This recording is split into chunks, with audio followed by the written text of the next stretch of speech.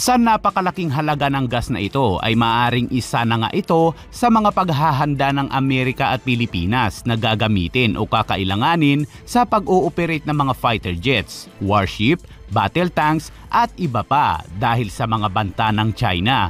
Eh wala namang ibang purpose mga utol. Wala kang may ibang makikitang ibang logical explanation tungkol dyan sa paglilipat ng mga fuel na yan. So tingnan na natin etong ayan oh, mula to sa San Say, Sauya. US says fuel delivery to the to Philippines done via proper channels. So ito yung pinag-usapan ng dalawang uh, gobyerno. Okay? A spokesperson of the US Embassy in Manila confirmed that commercial tanker Yosemite Trader is currently in the vicinity of Subic Bay to transfer clean fuel from the US facility at Red Hill in Pearl Harbor. So Senator Amy Marcos on Wednesday criticized the inexplicable silence of both Manila and Washington on the shipment of 39 million gallons fuel from the US. So the President's sisters, who chairs the Senate Committee on Foreign Relations, said this raises suspicious that the delivery of fuel was an antip- was in anticipation of war erupting between China and the US over Taiwan. And kapag kasi kahit naman anong gawin natin eh, kahit naman hindi tayo makisali sa issue na yan ng China and US at Taiwan, makakasali tayo dahil meron tayong Mutual Defense Treaty with the US. Mga karunungan, kaalaman, teorya, kasaysayan, hiwaga at mga bagong tuklas. Alamin natin, alamin natin. Aminin man natin o hindi mga utol, eh talagang may banta ng gera o ng World War III uh, worst comes to worst, 'di ba mga utol? So hindi rin masama na paghandaan natin. Mas magandang hindi matuloy.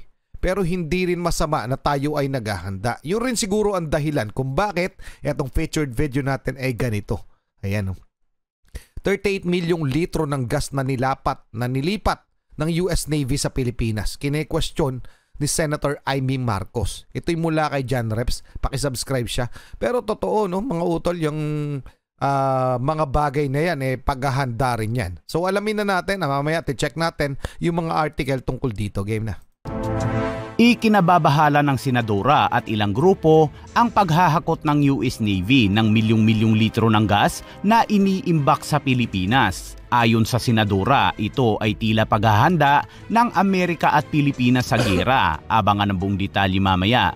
At sa ibang balita patuloy na binabalangkas ng Pilipinas at Japan ang Reciprocal Access Agreement o RAA nice na magsisilbing gabay sa mga sundalong Hapon dito sa Pilipinas. Kaya't para malaman ang buong detalye ay tumutok at makinig na mabuti.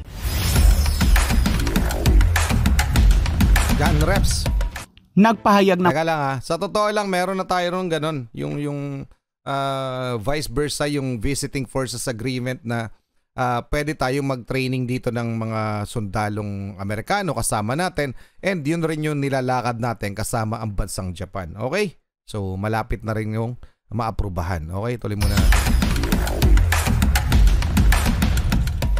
Nagpahayag ng pagkabahala si Senadora Amy Marcos sa napaulat na imbakan ng 39 na milyong galon ng gasolina ng United States Navy sa Subic, Sambales. Humingi ng paliwanag ang senadora mula sa Department of National Defense at Armed Forces of the Philippines para sa paglipat ng military fuel mula sa Pearl Harbor sa Honolulu, Hawaii patungo sa Subic na hindi isang Designated Enhanced Defense Cooperation Agreement mm. o EDCA site. Nung nalaman po namin itong, uh, uh, well, this statement from uh, Senator Aini, we started investigating also. Uh, pag tinawag po kami, we are ready to, uh, to explain. Starting this January, may mga activities na tayo with the, uh, with the American government, uh, the armed forces of the United States, uh, such as the Salaknib exercise, the Balikatan exercise, and the other exercises that will go on for the year 2024, ay uh, naghahanda naman sila uh, ng mga logistical requirements nila. Sinabi ng chairman ng Senate Committee on Foreign Relations sa isang pahayag nitong Huwebes na ang Subic ay hindi isang EDCA sites kaya saan sa teritoryo ng Pilipinas itatabi ang milyong-milyong galon ng gasolina Ito ay hindi lamang isyo sa patakarang panlabas kundi ng subiranya ng Pilipinas maging ang kaligtasan sa kapaligiran. Kaya mas mabuting magkaroon ng malinaw na paliwanag ang gobyerno ng Pilipinas para dito. Teka lang mga utol ah, bago natin pagpapatuloy ah, etong yung pagdadala ng mga gasolina dito sa ating bansa galing sa United States of America ay nauna na yung uh, pinag-usapan, okay? Ito po yung report tungkol dyan mula sa Inquirer.net. Okay? Uh, US builds uh, $2 million fuel depot at Cebu Air Base. Okay? So kailan lang to? May 22, 2023. So nauna na, isa kasi itong, kabasahin lang natin ha, the United States is putting up a fuel depot worth $2 million and roughly 111 million at the Mactan Benito Ebuen Air Base in Lapu-Lapu City on Mactan Island and Cebu Province, one of the sites of the Enhanced Defense Cooperation Agreement EDCA between Philippines and the United States. So ang magiging ang magiging purpose nito, so EDCA site po yung paglalagyan ng mga nung oil depot. Okay?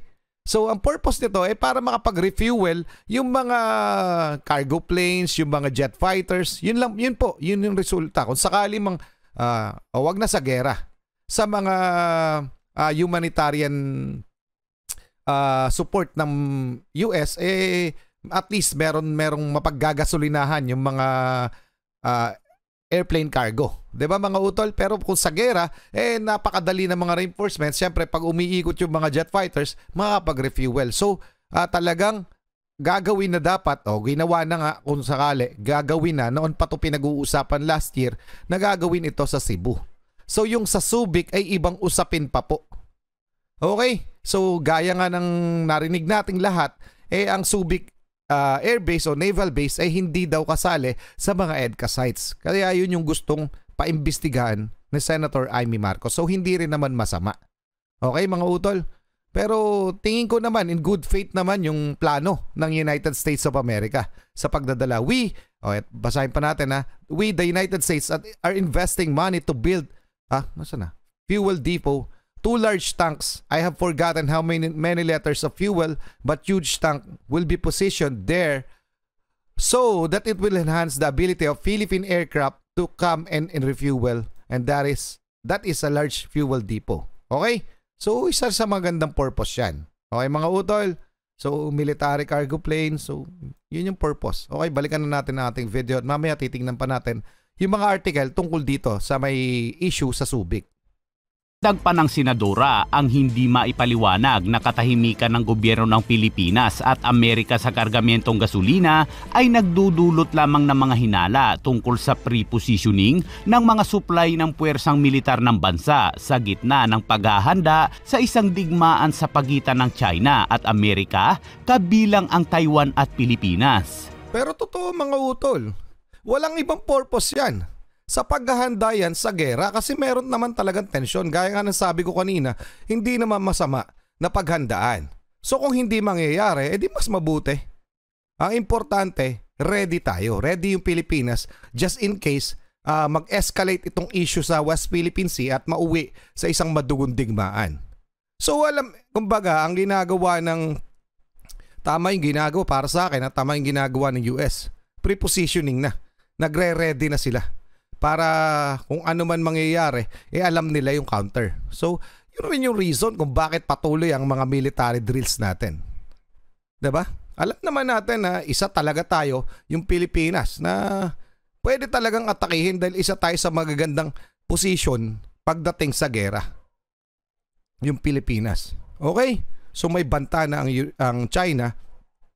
Anong gagawin natin? Kailangan nating maghanda. So ano masasabi nyo dyan mga utol? Tuloy na muna natin to ha. Mamaya titingnan natin yung article tungkol dito. Every last drop of fuel, residual fuel and sludge will be removed from the Red Hill facility. That is the Secretary of Defense's commitment. Bagamat ang paglipat ay inihayag ng US Department of Defense, ay tahimik naman ang gobyerno ng Pilipinas tungkol dito Nangangamba naman ang kilusan para sa pambansang demokrasya sa sinasabing mga war fuel na maaaring magpasiklab ng mga kaguluhan. Inamin naman ng US Navy na ito ay ang pangunahing gagamitin alinsunod sa suporta sa mga operasyon ng Pilipinas at Amerika sa West Philippine Sea. Hindi naman tayo kontra sa Amerikano, di rin tayo kontra sa Incheck. Ang simple lang, alamin natin bakit nagpasok ng sangkatutak na gasolina. 39 million is a heck of a lot of uh, gasoline. Why did they bring all of this from the very, very contentious Hawaiian base? Ano, galing sa Hawaiian eh. Bakit pinasok sa Subic? Kanino pinasok? At para sa ano? We want to know. Sana pamigay na lang sa ating mga driver at jeepney at tricycle. Apakadami kaya. Sa napakalaking halaga ng gas na ito ay maaring isa na nga ito sa mga paghahanda ng Amerika at Pilipinas na gagamitin o kakailanganin sa pag-ooperate ng mga fighter jets, warship, battle tanks at iba pa dahil sa mga banta ng China. Eh wala namang ibang purpose mga utol. Wala kang may ibang makikitang ibang logical explanation tungkol dyan sa paglilipat ng mga fuel na yan. So tingnan na natin etong ayan oh, mula to sa San Sai Sauya. US says fuel delivery to the to Philippines done via proper channels. So ito yung pinag-usapan ng dalawang uh, gobyerno. Okay? A spokesperson of the US Embassy in Manila confirmed that commercial tanker Yosemite Trader is currently in the vicinity of Subic Bay to transfer clean fuel from the US facility at Red Hill in Pearl Harbor. So Senator Amy Marcos on Wednesday criticized the inexplicable silence of both Manila and Washington on the shipment of 39 million gallons fuel from the US. So the president's sisters, who chairs the Senate Committee on Foreign Relations, said this raises suspicions that the delivery of fuel was an was in anticipation of war erupting between China and the US over Taiwan. And kapag kasi kahit naman anong gawin natin eh, kahit naman hindi tayo makisali sa issue na yan ng China and US at Taiwan, makakasali tayo dahil meron tayong mutual defense treaty with the US. At isa pa mga utol, wala namang ibang pwedeng logical na explanation bakit tinililipat yung mga fuel na yan dito sa Pilipinas. Okay?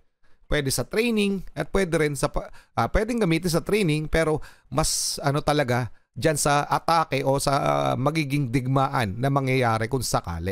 Okay, balikan na natin ang ating featured video pero meron pa palang isang uh, pangyayari. Mamaya titingnan na natin. Okay, update tungkol dito. Black hole. At sa ibang balita naman, hudyat daw ng mas marami pang military agreement sa mga dayuhang bansa ang binabalangkas na ng Japan's Philippines Reciprocal Access Agreement o RAA na magsisilbing gabay sa mga sundalong Hapon tuwing may joint military training. Ito ang pangamba ng ilang sektor na nakikita ang kamay ng Amerika sa mga ganitong kasunduan. Posibleng paghahanda daw kasi ito ng Amerika kontra China dahil sa mga banta ng China sa Taiwan at Pilipinas. Sa ngayon, pinaplansya pa ang ilang detalye ng RAA bago tuluyang pirmahan ni Pangulong Marcos Jr. at retipakahan ng Japanese Parliament. Pero, mag- Pero mas maganda na mga mangyayari. Kahit anong uh, palagay ko, mas maganda na mangyari. Okay? Iba pa rin yung talagang naghahanda tayo. So, isa sa pinakamatibay nating kaalyado yung Japan. Siyempre, napakaganda rin ang relasyon yan with the US, South Korea. So, mas maganda na pumanig o kumampi na tayo, magkapa, dumikit na tayo ng dumikit doon sa mga mas malalakas na bansa dahil nga, eh, wala naman tayong laban kung sakaling uh, aatakihin tayo ng China, di ba? Pero ang pina, uh, naiintindihan ko yung pinangangamba ng ilan nating mga senador, ng iba nating mga nakaupong mga nasa gobyerno na uh, yun nga, pwedeng kasing dahil nandito lahat yung puwersa ng puwersa militar ng iba't ibang bansa nakapanalig natin, pwedeng unahin tayong atakihin.